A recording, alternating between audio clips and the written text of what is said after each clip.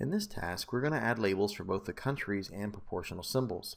The countries will be labeled with their names in white in all capital letters, and the proportional symbols will be labeled with the number of IDPs or refugees that they represent in black. We're going to create the country labels first. So in the Layers panel, I'm going to create a new layer, and I'm going to name this Map Labels. And I'm going to make sure that's added all the way at the top of my layer list. So I'm going to keep hitting the up button until it's all the way up to the top.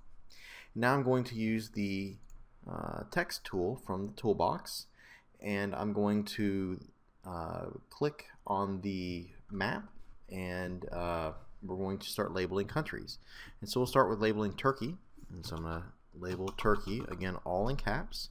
And now that I have that selected, I can use the text and font tool and I can set the font to Arial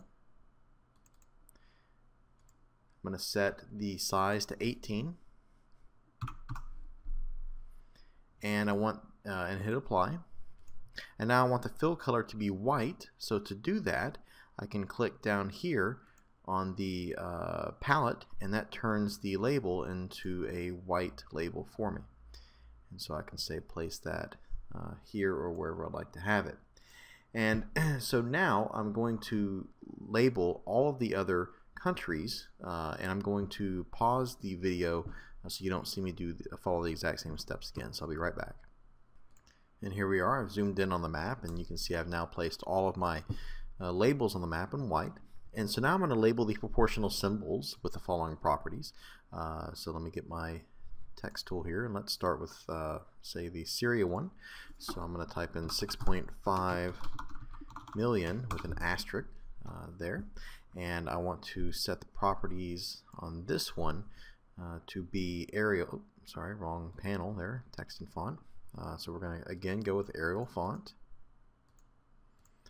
And for the font size we're going to go with 32 and the font color is already black so I don't have to worry about that. And so the Syria uh, IDP label is going to be different from all the others. So for those let me show you one of those. So let's do say Lebanon's I'm going to click and the refugee population is uh, 980,731 and I'm going to set its text and font properties again to Arial font.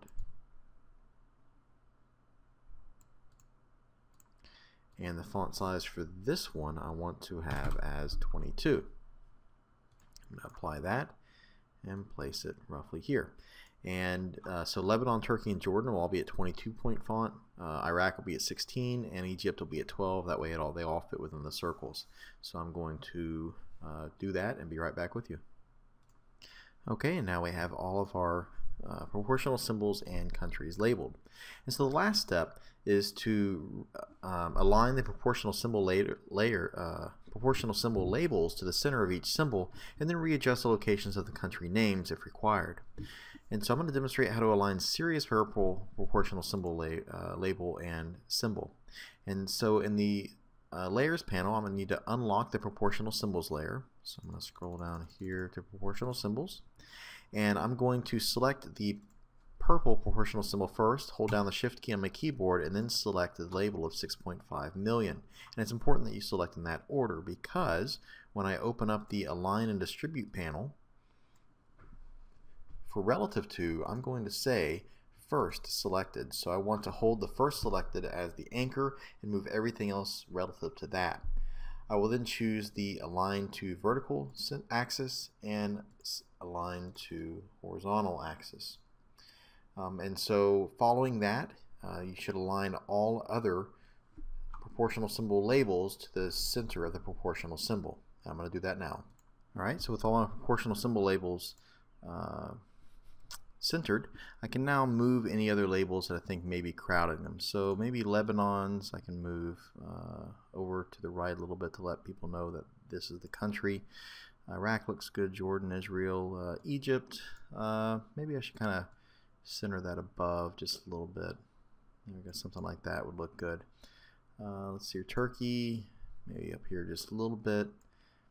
And so that looks good to me. So now that I'm happy with that, I'm going to go ahead and relock all of my layers.